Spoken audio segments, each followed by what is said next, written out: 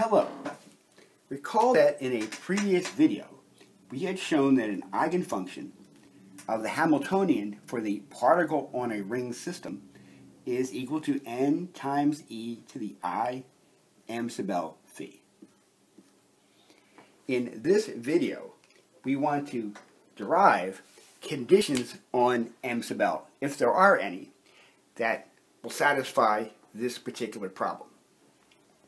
One thing we realize for the particle on a ring system is that each time the particle travels one full revolution, it's back to the exact same location that it was before.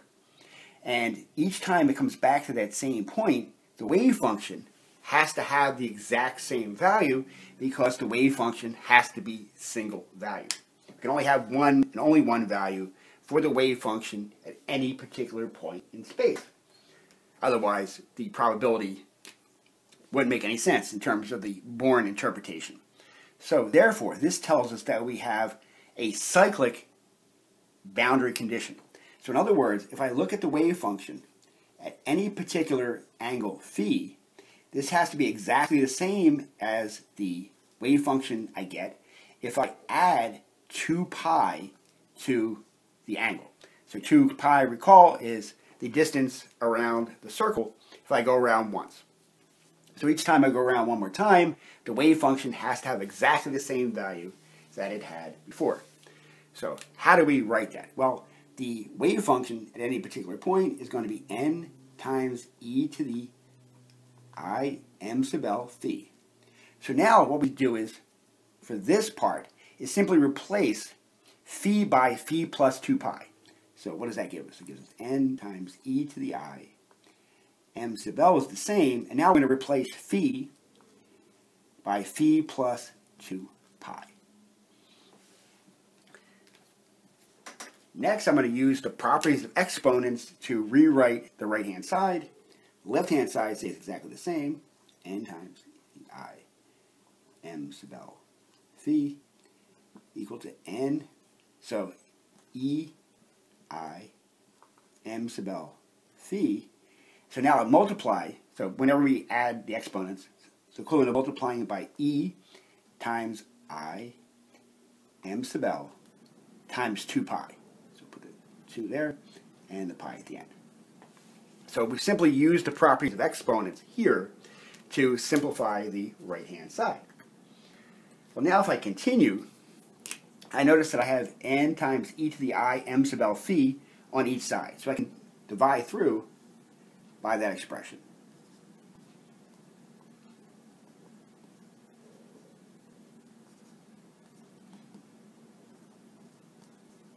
If I do that, what does the left-hand side become? It becomes simply 1, and the right-hand side becomes e to the 2 pi i m sub l. But I can also sort of rearrange the factors on the right-hand side to use the following fact. I know I can write it as e to the pi i to the 2 m sub l power. So I'm simply rewriting the exponent here to put the pi i as close to e as possible. And the reason why I'm doing that is we recall from several videos back that e to the pi i is equal to minus 1. So it tells us that 1 is equal to minus 1 to the 2 m sub l power. So, making use of the fact that e to the pi i is equal to minus 1. Well, what does this tell me? Well, it tells me, I know that if I take powers of minus 1 to whole numbers, that if I have a positive, uh, um, even positive power, that's I'm going to have a positive 1. If I raise it to an odd power, I'm going to get minus 1. So recall that I go minus 1, 1, minus 1, minus 1, as I go from odd to even powers. It doesn't matter whether they're positive or negative, it matters whether they're even or odd. So what does this tell me? Well, it tells me that 2 times m sub l has to be positive. Has to be a positive number. Well, now, if 2m sub l is a positive number, that tells me that m sub l has to simply be a whole number. So it has to be equal to an integer.